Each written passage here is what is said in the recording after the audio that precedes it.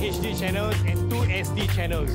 So with the 8 HD channels, that bring the total HD offering from Astro to 48 HD channels. The current Astro base, 60% of Astro customers are enjoying in HD. Uh, we think the trend is likely to continue and hopefully now with the 8 additional HD channels, we hope that will accelerate the, the growth. Uh, HD obviously will continue to grow and in the future will become the norm.